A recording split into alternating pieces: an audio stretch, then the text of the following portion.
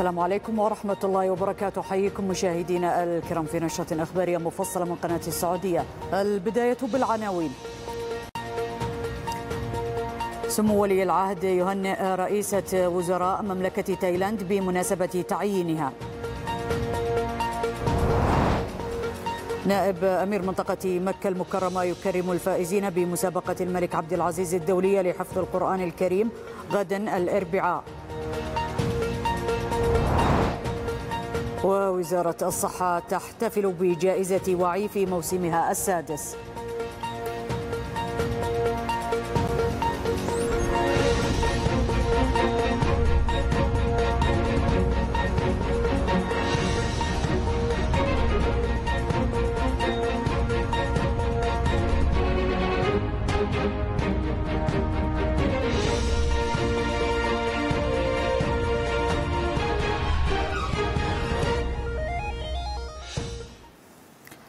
أحييكم. بعث صاحب السمو الملكي الأمير محمد بن سلمان بن عبد العزيز آل سعود ولي العهد رئيس مجلس الوزراء. برقية تهنئة إلى دولة السيد بايتونغتارن شيناواترا بمناسبة تعيينها رئيسة للوزراء في مملكة تايلاند.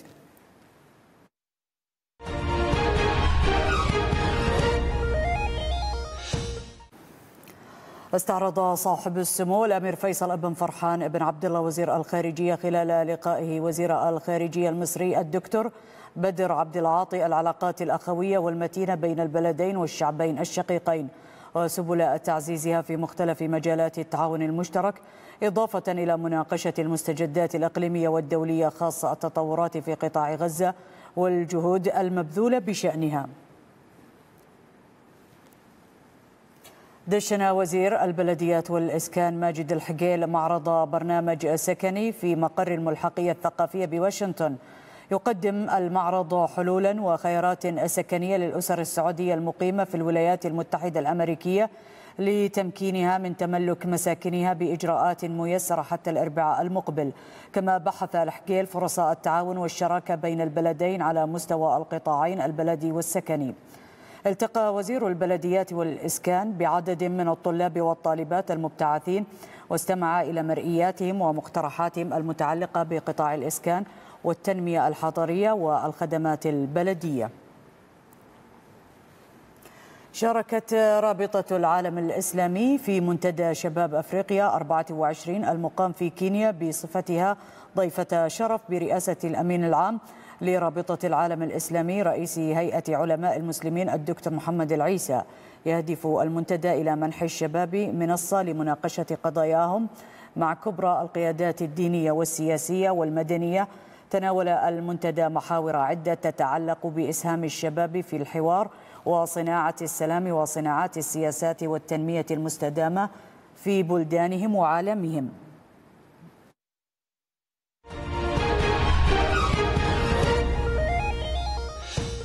يكرم صاحب السمو الملكي الأمير سعود بن مشعل نائب أمير منطقة مكة المكرمة في رحاب المسجد الحرام مساء غد الأربعاء الفائزين بمسابقة الملك عبد العزيز الدولية لحفظ القرآن الكريم وتلاوته وتفسيره في دورتها الرابعة والأربعين التي نظمتها وزارة الشؤون الإسلامية والدعوة والإرشاد حيث تشهد المسابقة في نسختها الحالية مشاركة 100 و74 متسابقا من 123 دولة حول العالم. أطلقت وزارة الصحة الحفل الختامي لجائزة وعي في موسمها السادس تعد الجائزة إحدى مبادرات الوزارة لدعم وتمكين المهتمين بالتوعية الصحية في العالم العربي من الجهات والأفراد بالشراكة مع مجلس الضمان الصحي. يبلغ إجمالي جوائز المبادرة أكثر من مليون ريال موزعة على ستة مسارات. فقد عملت وزارة الصحة من خلال برنامج تحول القطاع الصحي على التركيز على جوانب الوقاية من المرض قبل حدوثه من خلال الكثير من البرامج والمبادرات. ولا شك بأن التوعية والتثقيف الصحي هي أحد الركائز الهامة لنجاح هذا البرنامج وتحقيق أهدافه. في جائزة وعي في موسمها السادس هذه الجائزة انطلقت لتعزيز الوقاية ورفع الوعي الصحي الذي يساهم في تحسين جودة حياة الأفراد. تصدر تطبيق توكلنا أعلى المنصات الحكومية في مؤشر نضج التجربة الرقمية للعام الحالي بالمملكة من بين 39 منصة رقمية. تم تقييمها وفقا لأربعة مناظير رئيسية. ضمن استراتيجية التحول الرقمي للمملكة تصدر تطبيق توكلنا النتيجة الأعلى في مؤشر نضج التجربة الرقمية لعام 2024 مما يعكس مكانة المملكة الرائدة في مجال تقنيات البيانات والذكاء الاصطناعي على مستوى العالم.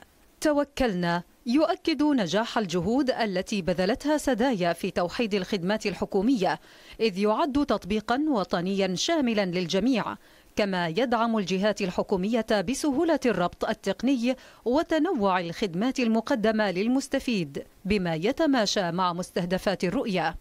أكثر من 315 خدمة يقدمها تطبيق توكلنا للمستفيدين الذين وصل عددهم إلى أكثر من 32 مليون مستفيد ويقدم خدماته بسبع لغات في أكثر من 77 دولة. كما يعزز التطبيق من الخصوصية والشفافية لكونه يحظى بموثوقية عالية تطبق فيه أفضل المعايير العالمية في إجراءات الحماية والأمن السيبراني. باشرت النيابة العامة تحقيقاتها مع مواطن متهم بالتقصير بالوفاء بواجباته والتزاماته تجاه أطفاله الثلاثة من خلال التسبب عمدا بانقطاعهم عن التعليم وامتناعه عن تمكينهم من الذهاب للمدرسة دون مبرر نظامي. ووجهت النيابة الجهات المختصة باتخاذ ما يلزم نظاما حيال إعادة الأطفال إلى مقاعد الدراسة واتخاذ إجراءات الحماية اللازمة لهم.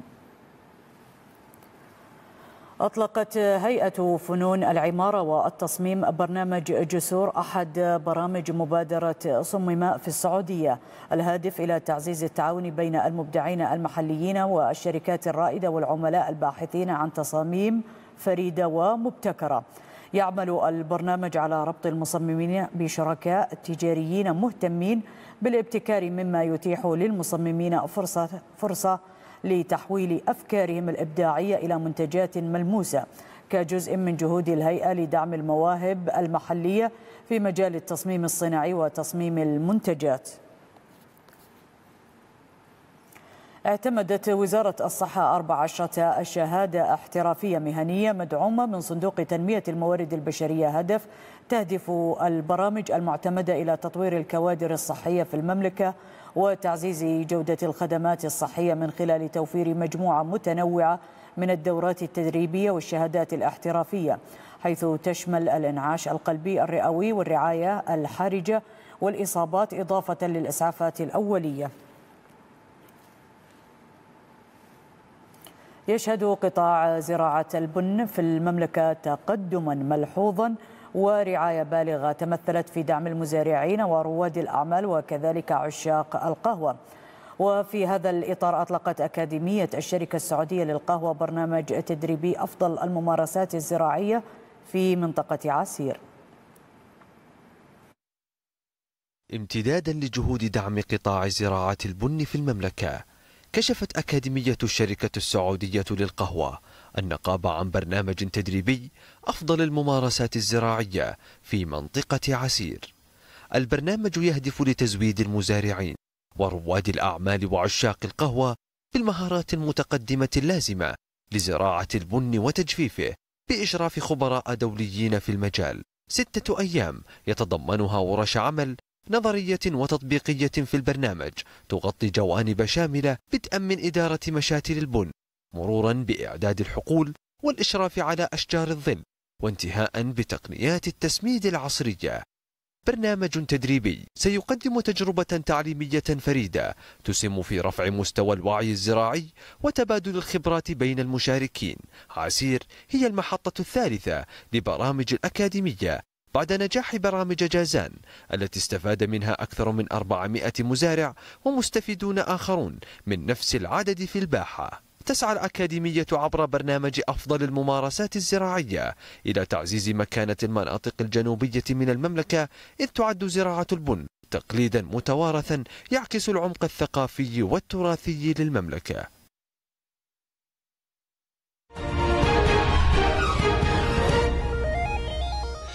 تجاوزت القيمة الإجمالية للأصول التي يديرها صندوق الاستثمارات العامة ريال بحلول نهاية شهر ديسمبر للعام الماضي. بنمو بلغ 29% مقارنة بنهاية 22 بلغ متوسط إجمالي عائد المساهمين على أساس سنوي 8% فيما يبلغ إجمالي الأصول تحت إدارته حاليا 3 تريليون ريال. جاء ذلك وفق تقرير الصندوق السنوي للعام الماضي. الذي أظهر تحقيق إنجازات متسارعة شملت مختلف القطاعات الاستراتيجية في المملكة. أطلق المركز الوطني للنخيل والتمور مواسم تمورنا عبر فعاليات تراثية وثقافية مصاحبة لأسواق التمور في جميع مناطق المملكة حيث تستهدف المجتمع المحلي والزوار والسياح المحليين والدوليين وذلك لتعزيز القيمة الاقتصادية والمكانة الاجتماعية للتمور وترسيخ ارتباط التمور بالإرث الثقافي والاجتماعي في المملكة. تستعد العلا لاستقبال نسخة جديدة من مهرجان سماء العلا الحدث الأبرز الذي يجمع بين سحر الطبيعة والسماء وعظمة التاريخ في قلب الواحة القديمة.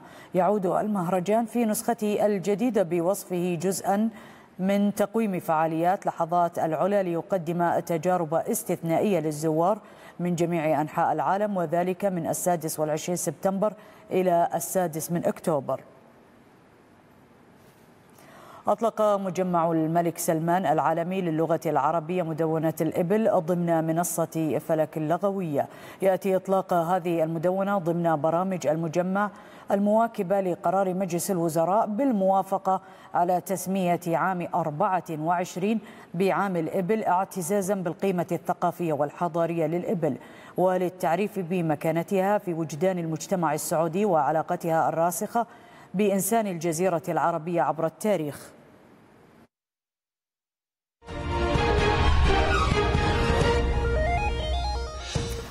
في خبرنا الأخير حيث أعلنت لجنة المسابقات التابعة للاتحاد السعودي لكرة القدم اليوم مواعيد مباريات الدور الثاني والثلاثين من كأس خادم الحرمين الشريفين التي تنطلق من يوم الثاني والعشرين وحتى الخامس والعشرين من سبتمبر المقبل.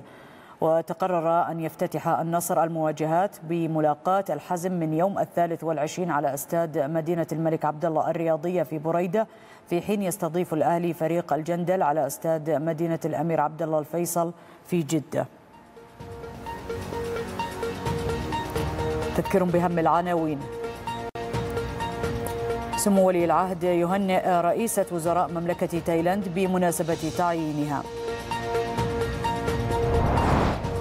نائب أمير منطقة مكة المكرمة يكرم الفائزين بمسابقة الملك عبد العزيز الدولية لحفظ القرآن الكريم غدا الأربعاء.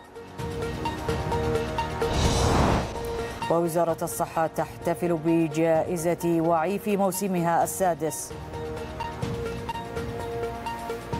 وصلنا إلى الختام تحية طيبة. السلام عليكم.